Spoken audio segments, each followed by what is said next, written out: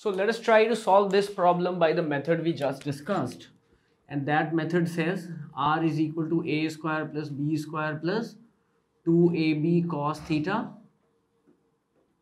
root over and tan phi tan phi is equal to a sine theta upon upon b plus a cos theta or a cos theta plus b a cos theta plus b. Okay. Now if this is minus q and this is q and this is q we first should see what is the orientation of the force such that they are co-initial right? So so we have to find this. So here the force is in this direction. It will be attractive. And here it will be in this direction incidentally the magnitude of all the forces will be the same. Why? Because the interacting charges and their distances are the same. Right? Right? So so this is the force here. So what is the magnitude of that force? Let us try to understand magnitude of that force is q into q k q q upon l square. Correct? So that is kq square upon l square so this is a force, this is a force F, which is that. No, uh, because negative sign is taken into account. We are not considering the negative sign because that is taken into account by the way they are oriented. So it's taken care of, no? Now when you are dealing with this, you do not take positive or negative, you just take the length. Understand? So, so that heading is gone. And but that is factored in. Here, this force will be like that and this force will be like this. So you understand negative has been factored in automatically. Now what is the angle? So here the resultant force on force on charge at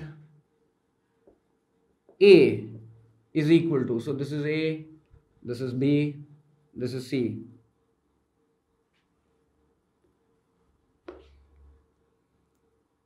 force on charge at A is equal to what? F square plus F square. Both, both the force magnitudes are the same plus 2F into F into cos 60. So, and cos 60 is half. So, this is F square plus F square and this is 2F square into half is F square, right? So, this is 3F square. So, this is root 3F. We get that point? And since they are equal it will be it will be a bisector so it will be bisecting it. So it is root 3f in the minus j direction. Here force on charge at b force on charge at b is equal to what? This force will be going away like that this force is getting attracted like that and their sum since they are equal forces their sum will be a bisector. So so so my resultant will be at an angle of 60 degree and will be equal to that. That that also we know. However we should be applying the formula f square. What is the angle? The angle is this 120 degree correct? Here the angle was 60 degree the smaller of the two angles. Okay, so it is f square plus f square plus 2f into f into cos 120. So it is 2f square plus 2f square into minus half. So it is 2f square minus f square which is f square root over which is f.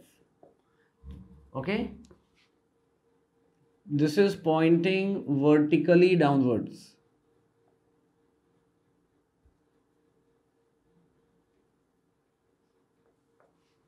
Correct? You will have to tell that. This is making an angle at an angle of this is how much this is 60 and this is 60 of 120 degree from positive direction of x-axis.